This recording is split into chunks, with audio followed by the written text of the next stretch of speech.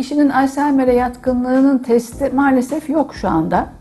Ama ben şöyle bir şey ifade ediyorum her zaman e, bunu soran e, hastalarımıza veya çevremizdeki kişilere.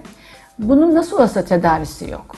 Bu nedenle başlangıçta bizim bunu öğrenip de e, yapılamayan bir tedavi için strese girip daha da olayı hızlandırmanın herhangi bir anlamı yok diye düşünüyorum. O bakımdan erken tanı konulunca tedavi edilebilir diye bir şansımız maalesef olmadığından bunu da o şekilde değerlendirelim.